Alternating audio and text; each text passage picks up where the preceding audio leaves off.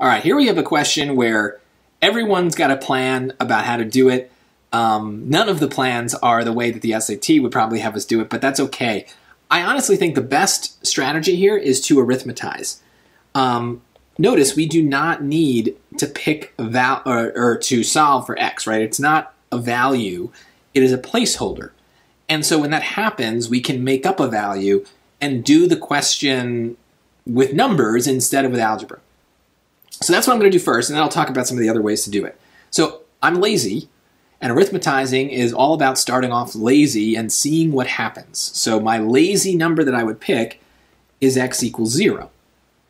Because then it means that I'm doing 0 squared plus 6 times 0 plus 4, which just means that this expression is equal to 4, because all the, the x's disappear.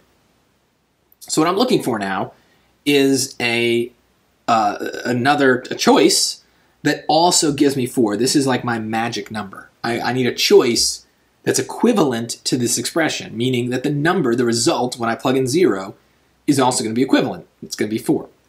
So let's try A. What happens?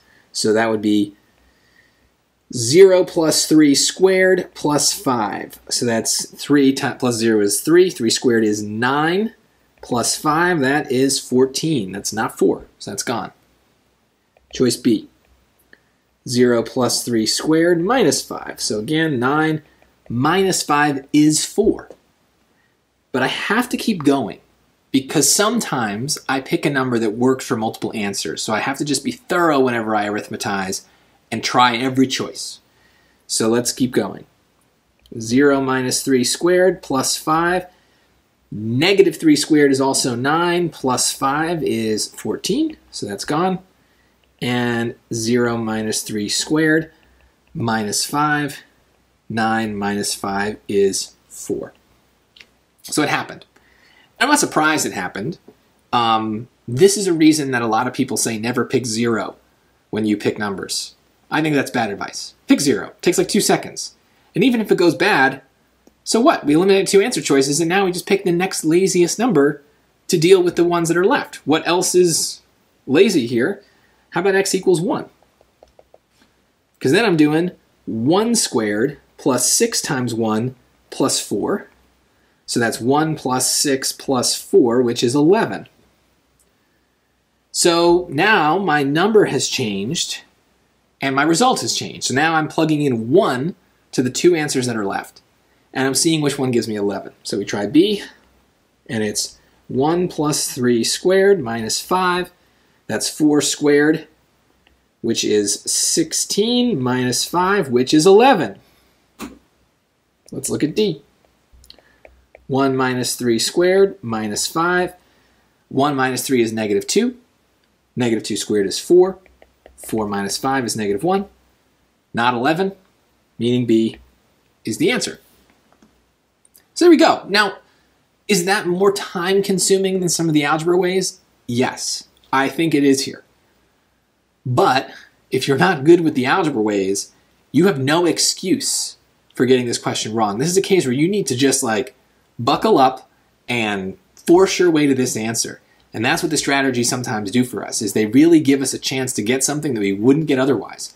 And so you got to see that this is an arithmetized situation that can save you 10 points that you really need to lock in.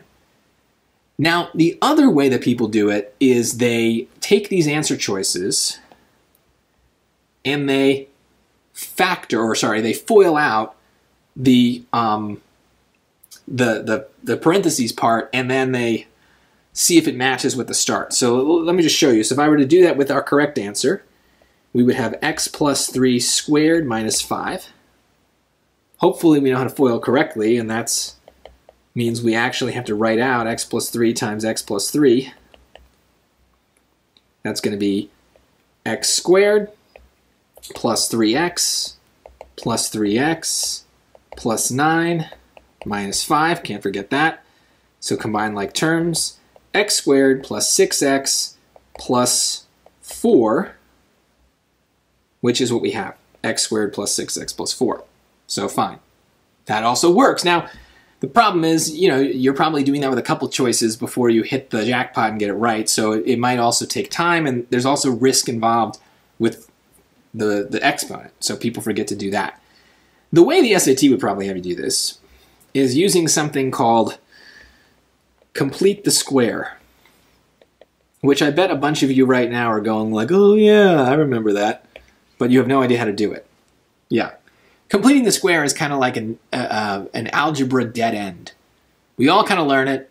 We use it for like one or two things, and because it like never comes up, we forget it, and then we're screwed when it does eventually come up again. And honestly, on the SAT, you could you can get away with not knowing complete the square for 99% of the questions. The only time it's really essential is when we have circles and we have a circle equation that we have to kind of clean up. Then we need to know how to do it. So the process is if we have x squared plus 6x plus 4, we take half of the b term. So the b term is that term that's on the x, so that's a 6. We take half of that, which is 3, and we square it. So that means x squared plus 6x, we stick a 9 in there. And then we've got a 4 that was still there from before. But we can't just go adding 9 to an equation. You can't do that. So we have to balance that out by subtracting a 9 as well. But the reason I wrote it in two colors is we're going to kind of think about it as two separate pieces. The x squared plus 6x plus 9, why is the 9 important? Well, because it, it causes a very special thing to happen.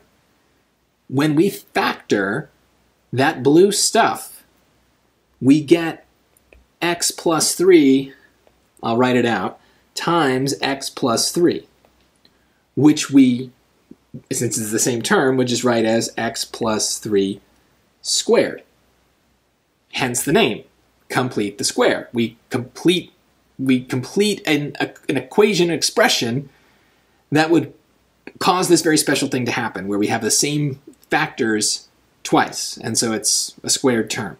So it's very special, but it requires us to kind of manipulate the equation. And so this 4 and this 9 also need to combine, and they get us the minus 5, and I'm kind of smushing everything here, but there it is. x plus 3 squared minus 5, x plus 3 squared minus 5. Same thing. And that's probably how the SAT book would tell you to do it. But, you know, do you remember it?